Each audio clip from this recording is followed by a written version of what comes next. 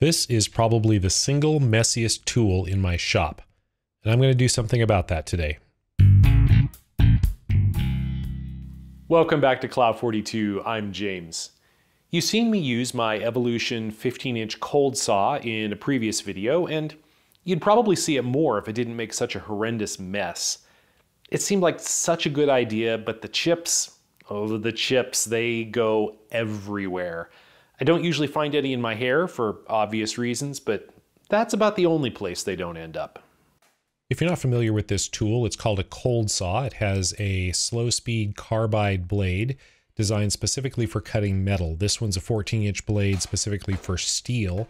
Just clamp your workpiece in here and cut it off. It's not a wood saw. This is designed for cutting tubing or even metal solids, but in the process, it throws chips everywhere. And unlike a hot saw that's going to throw sparks or, you know, grinding debris, this thing throws little chips that just bounce and go everywhere. It does have a tray for catching the chips, and you can see that's all it caught when I cut those six inch aluminum rounds a few weeks ago. It does not really work. This thing really needs a better dust collection system, and that's what I'd like to do today. There's a little guard here on the back that catches the chips that come off of the back of the blade and prevents those from going all over the shop. And this really does seem like a good location for a vacuum port. I really don't know why they didn't incorporate something like that into the saw initially. Vacuum hose could come in from the side or from the back. You know, most woodworking miter saws have that.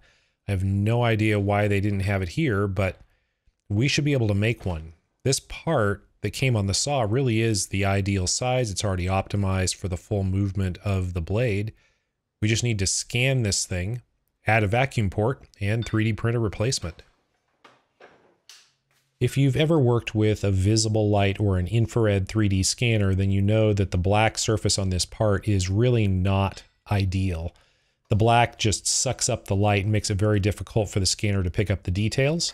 And that's where scanning sprays come in. This particular brand sprays on, puts a nice matte white coating on, but then later sublimates directly into the air, so there's no cleanup required. Got a couple of versions here. The blue one lasts about four hours, and the orange one lasts 12 to 24 hours before it sublimates. I think we'll just use the short one. Four hours should be plenty of working time for this project. And it just sprays on, and then as it dries, it turns white.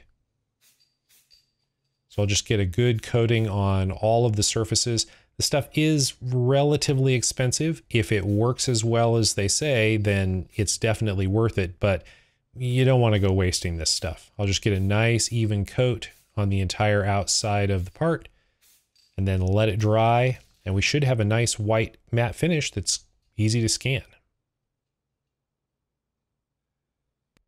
I've learned quite a bit from playing with this Einstar scanner since the last time you saw it in a video, and the first thing I learned is you really do need to recalibrate it. It comes with a calibration card, and if you move to a new location, especially under different lighting conditions, you really need to run through the calibration sequence again. This makes a huge difference in the scanner being able to track what you're scanning. The other thing that I learned is when you're scanning small objects, especially if you want to scan the entire outside surface of the object, you really need a turntable and you really need a sea of tracking points, a sea of markers on that turntable so that the scanner has something to track as it goes around the corner to the other side of the object and loses visibility of the previously scanned geometry. The markers on the turntable allow the scanner to retain its tracking as you go around the corner. I'm also putting some markers on the part because I'm not sure exactly what I'm going to need to align the multiple scans. As far as settings, I've also learned that you really want to use the medium and large object setting with hybrid alignment, even for small objects. And the reason for this is it allows you to get the scanner back further so that the eyes on the opposite ends of the scanner, the two cameras, can actually see into hollows of the object better than they would be able to do if you got really close to the object in the small object scanning mode. So then it's just a matter of rotating the object slowly and scanning all sides of it from this side. I also turn the scanner to the side. Again, it changes the angle of those two cameras and allows it to see into narrow openings it wouldn't have been able to reach otherwise. And as long as you keep enough of those markers on the turntable in view, the scanner will keep track of its position and won't lose its place. Then once you have uh, enough geometry scanned and all the surfaces are showing green, or at least all the surfaces that you can see from this side are showing green, then it's just a matter of going in, deleting all of the scan data from the actual turntable surface, which we don't want. That's not a part of our object. And this allows us to clean it up, and then we'll be left with a mesh or left with a point cloud that just contains the surfaces of the part that were visible when scanning from this side of the object. Get that all cleaned up, generate a point cloud, and this isn't the whole object, it's just the stuff that's visible from the top.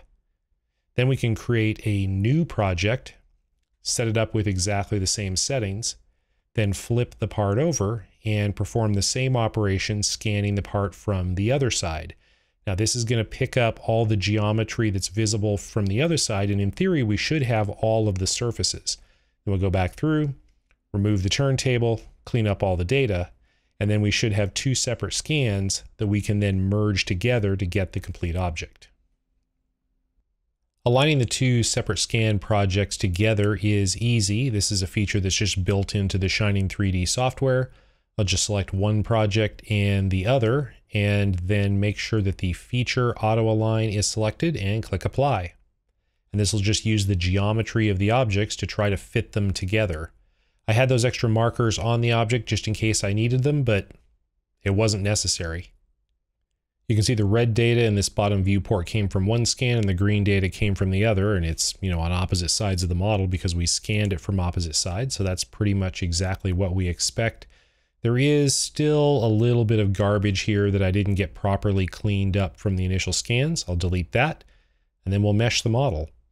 We've got a bunch of options. I am going to select a watertight model this time because in theory we do have all of the surfaces of the object. I'm just going to leave everything here at defaults and click apply and see what happens. This will try to fill the holes left by the markers and the holes left by shadows and little incomplete bits of the scan. And as you can see, it does a pretty decent job. There are some soft corners where we had a little bit of data missing, but honestly, for this kind of object in this kind of scale, under the conditions we had, this looks really good. I will use the optimization features to do a little bit of smoothing, try to find a level for the smoothing that doesn't mush all of the detail, but still leaves pretty presentable surfaces. And then I'll go back through and establish the coordinate system and the origin. You've seen me do this in a previous video by fitting planes. Check out the lathe scanning video if you want to see the details. And then it's just a matter of saving the scan as an OBJ file so we have something to import into Fusion 360. To bring the mesh into Fusion 360, I'll just say Insert, Insert Mesh, select from my computer and browse and find the OBJ file that I exported. And that brings in the mesh. Now, technically we could try to work with this in the mesh workspace, but I prefer to use the mesh as a guide to create a solid model of the part. The workflow for this is pretty standard. We just go to Mesh, create a mesh section sketch, and then select the object, select a plane, offset it to the height that we want, and it will take a cross section cut through the mesh and create guidelines in a new sketch that we can use for modeling. Now these lines that it's created are orange, they're not black. These aren't real sketch geometry, they're just guides you can use to create sketch geometry. And I prefer to edit the sketch and just draw this stuff in myself. So I'm just coming in here hitting L for line and actually creating line segments wherever there are flat straight lines in the guide and then coming back with the tangent arc command and actually putting arcs between these. Tangent arc command puts the tangent constraint at the beginning of the arc and then I have to come back and add it to the end so I get smooth surfaces. And then as I get the sketch built out, I'll go back and put in actual dimensions in places where I can measure the object and I know the exact dimensions that I want. And then from there, it's just a matter of extruding to start creating geometry, grabbing another section through the part at another angle, turning that into a sketch, and then turning that into regions that I can extrude. And I'm just slowly bringing the part to life from these sections that I'm taking from the mesh. And then once I have the whole part modeled, it's time to go add the new features that I want. To actually create the port, I will need a sketch and I'll construct that on a plane. So I'll select construct plane at angle, select this line and rotate that plane to 45 degrees. I chose 45 degrees just to make this easier to 3D print. Then I'll create a sketch on that plane and create a circle. Now I know how big I want the vacuum port to be to fit the adapter that I have. So I'll set that to 58 millimeters, and then I will use the offset tool to create a five millimeter wide wall. So I just have two circles, one on the outside, 58 millimeters, and one five millimeters inside of that. I'll move that around so that it looks to me like it's in about the right place so that the port will go through the part in a reasonable way. Then select that region, hit E for extrude, switch this to two sides, and extrude this out. Now, of course, I don't want that to cut. I want it to join. I'll extrude that in both directions so that I now have a tube that is going through the part. That looks like it's in about the right position. We can always adjust it later if it's not. But that looks okay. Click OK, select the part of the tube that's going inside, hit the delete key, and now we have a tube coming down to the surface. I'll just select this inside region again, hit E for extrude. We'll leave this in cut mode and just cut through the side of the part. Now there is some extra geometry. I could have cut both directions, but I can just as easily come in here, select some surfaces and hit the delete key and just remove the geometry that I don't need.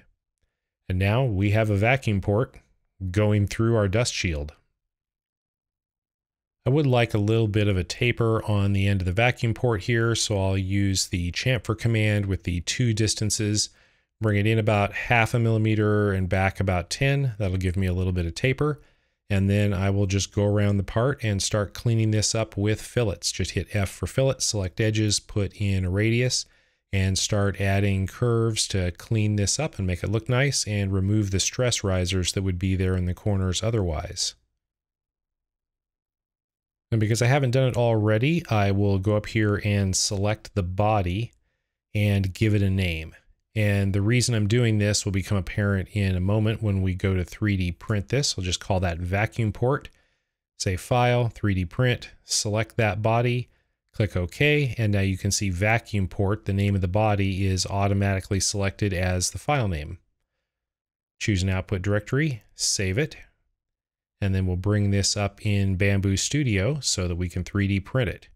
Now this has got a lot of weird geometry and doesn't really have many flat sides, but if I stand it on the end of the port, most of the surfaces are going to grow away from that at a 45 degree angle, which should be a perfectly printable overhang, though there are a few areas that are still going to need support. So we'll go to the support tab, enable support, set it to tree auto, click slice, and see what it does.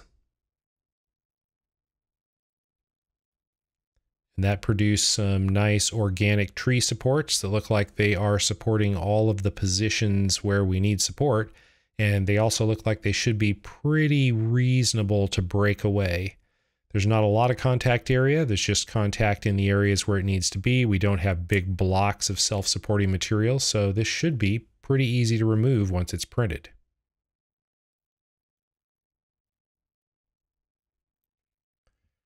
I started this print in the high temperature carbon fiber nylon and then thought about it and started another one in PLA because it would be done sooner and I could find out if I needed to stop the nylon one. But of course, the PLA one failed, so I had to restart it. And by the time I did that, both of the prints ended up finishing about the same time, which is fine. I went ahead with the PLA print because I wanted to see if I had some kind of a problem with my PLA bed adhesion, but apparently it was a one-off event and it finished just fine. So now I have one in carbon fiber nylon and I have one in PLA that I don't need, but it's kind of pretty.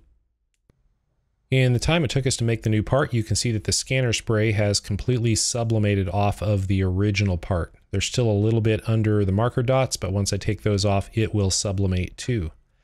I have the new part off of the 3D printer here, and you can see this thing is just gorgeous. This is the Bambu Lab PA high temperature carbon fiber, and the results that I've gotten with this material are just outstanding. It looks good, but the real question is whether it fits. I mean, it, it better fit. I scanned the part, and yep, it fits. It has little tabs on the bottom to locate it, and those fit nice and neat into the holes. As long as the screws align, we should be good. And it looks like we're good. I made a 3D printed hose coupler for the vacuum. This is NinjaTek Cheetah. This is a thermoplastic urethane. And uh, this is the same process I used to make the coupler for the surface grinder. This just goes on with a little hose clamp that is nice and secure. And then the vacuum hose should just snap in. And it does. Looks like the clearance is the same as the original part. Fit looks good. Now I just need to grab a piece of steel and we need to test this and see if it gets the chips. I have a piece here of 2 by 3 inch by 1 8 inch wall mild steel tubing.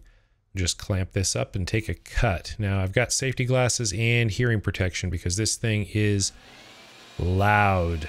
Get the vacuum going, take a cut and see what happens. Now this isn't a particularly slow carbide saw. It's quite a bit slower than a wood saw, but still pretty fast, which is part of why it makes such a big mess. Now that actually looked pretty decent. I do see a few chips there on the welding table. Let's go ahead and rotate this and try a 45 degree miter cut and see if that behaves any different. Just flip the fence around, clamp it back in. and have another go at it. I'm a little bit concerned that the chips are going to get caught inside the tube and be flushed out the end where the vacuum will not catch them.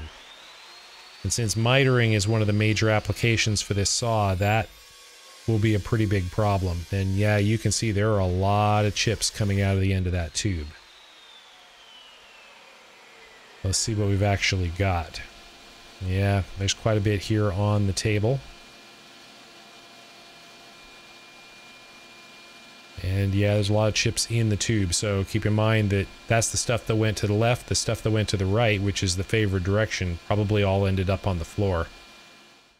And yeah, there it is in all its glory. I don't think it's as many chips as I normally find on the floor, but that is still quite a mess, and this is just the beginning. There's quite a bit on the table here that got away, and the stuff on the floor went for a radius of about 10 or 15 feet from the saw. This stuff is just insidious. After sweeping the shop floor and dumping out the vacuum, the pile on the left is what I got off the floor and the pile on the right is what came from the vacuum. So I'd say vacuum caught about 60%. I mean, that's something, but I still have to sweep the floor, so I'm really not sure this is worth it. That was a lot of work, and I learned a lot about 3D scanning and modeling, but in the end, I really don't think I'm going to end up using the vacuum port. Catching 60% of the chips doesn't really help me very much if I still need to sweep up the entire shop when I'm done anyway. I'd love to have the saw up on a bench for ease of use, but in my small shop, that just means the chips get broadcast even further. I have a fabrication project coming up, and I'll probably go back to using the saw on the floor in a corner where at least the mess is contained. If you do something like this, be aware that hot chips are hot and you should be prepared for that so you don't melt your vacuum or start a fire. A cyclone separator in a metal bucket might be a good idea. Just use your head and proceed at your own risk. If you enjoyed this video or found it useful, give it a thumbs up, subscribe, and consider supporting the channel over on Patreon. Patrons can download files for all of my projects, including this one, for what it's worth. Thank you for watching.